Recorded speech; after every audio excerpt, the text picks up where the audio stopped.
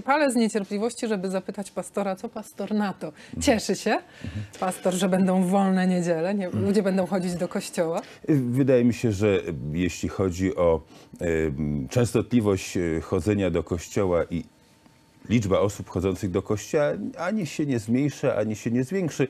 Wydaje mi się, że tak. No, e, ja uważam, że niedziele, jeżeli już mają być wolne, niech będą wolne. W końcu e, ja 50 lat temu się urodziłem i pamiętam jeszcze, że niedziele były wolne. No, nie było handlu A w soboty niedzielę. Były pracujące. przeży- Ja pamiętam, że chodziłam do szkoły w Ja też chodziłem w soboty do szkoły i jakoś przeżyliśmy niedzielę bez sklepów.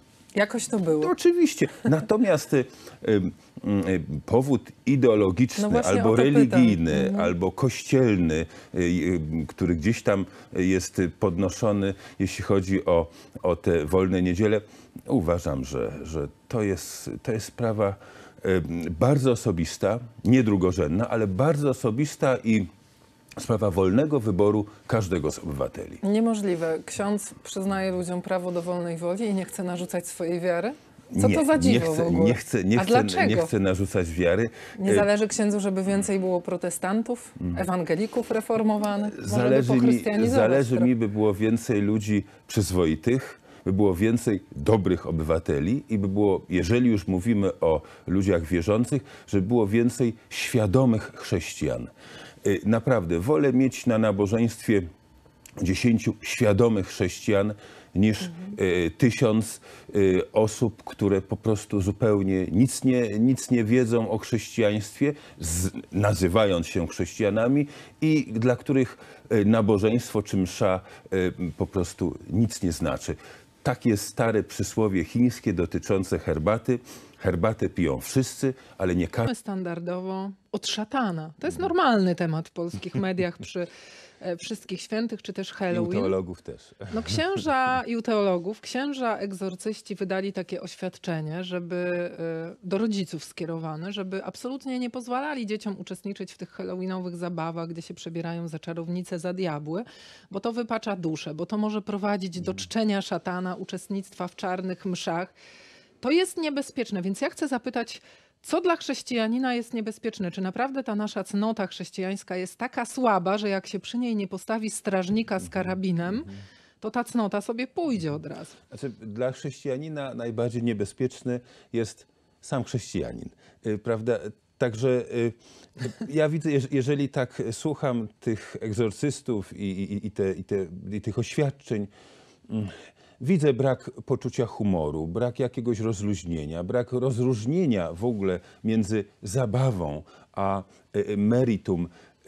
Naprawdę, no, no przecież y, bawiłem się jako dziecko y, czołgami, żołnierzykami. No nie wyrosłem na jakiegoś militarystę, na jakiegoś, na, na, na człowieka, A który... Quentin Tarantino, jakie robi straszne filmy, a nie jest seryjnym zabójcą. Dokładnie, także y, troszeczkę, troszeczkę i zdrowego rozsądku, i poczucia humoru, i miłości do dzieci. Bo wydaje się, że dzieci, no, są, któ- które są tym jakby najważniejszym odbiorcą tego przesłania, dzieci nie są traktowane jak dzieci, tylko jako potencjalne zło, jako coś, co, co, co jest słabe, co, co y, jest bardzo podatne na wpływ szatana, ale przecież są rodzice. Jest kościół przecież, jest otoczenie, które powinno działać na rzecz dzieci. Przede wszystkim uważam to Halloween jest zabawą. W pewnym wieku staje się to zabawą albo, albo jest zabawą. Także y, troszeczkę zdrowego rozsądku i poczucia humoru. Ale coś w tym jest, że fanatycy nie umieją się bawić, prawda? To jest taka moja obserwacja życiowa, że im bardziej ktoś fanatyczny, tym mniej rzeczy go śmieszy. A już sam z siebie to w ogóle nie ma mowy. Im bardziej człowiek fanatyczny, tym więcej lęku w nim.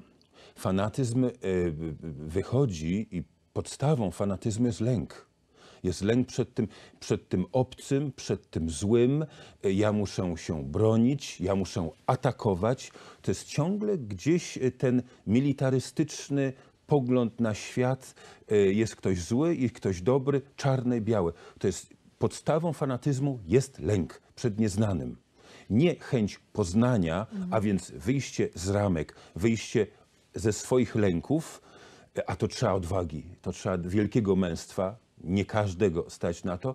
Natomiast łatwo jest zamknąć się, stworzyć taką, taką fortecę i po, w tym lęku i być fanatykiem. No ale a propos tego, że chrześcijanin sam sobie najbardziej zagraża, mnie to zawsze śmieszy, bo tak się składa, że jak są jakieś skandale obyczajowe, seksualne, tak jak ostatnio w brytyjskim parlamencie, oczywiście, uśmiechnęłam się, oczywiście wykorzystywanie seksualne młodych stażystów w parlamencie, kto to robił? Członkowie partii konserwatywnej. E, nie członkowie partii pracy. Zawsze w Polsce też najczęściej, proszę zwrócić uwagę, jak ktoś ma romans i zostawia starą żonę i ucieka z dwudziestolatką, to kto to był? Kazimierz Marcinkiewicz, a nie jakiś lewicowy polityk.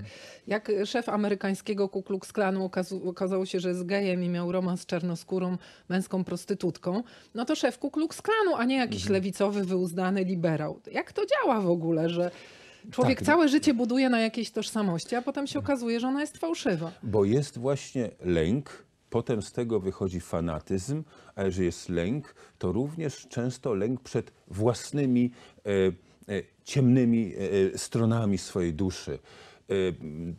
Żeby to pokonać, trzeba po prostu e, temu zaprzeczyć i to głośno. Im głośniej będę krzyczał, że nie jestem gejem, to może nikt nie zauważy, że jestem gejem. Dokładnie, to tak jest właśnie. No, to jest e, e, cechą często ludzi tchórzliwych i słabych. To krzyczenie głośne, to startowanie albo to, to wskazywanie na wroga, ten jest wrogiem, a ten jest moim przyjacielem. Chociaż tak, dla takiego człowieka nie ma przyjaciół. Są tylko wrogowie. Także e, e, im więcej się krzyczy o czystości, tym, ja sobie czasami myślę, więcej tej nieczystości w tym człowieku.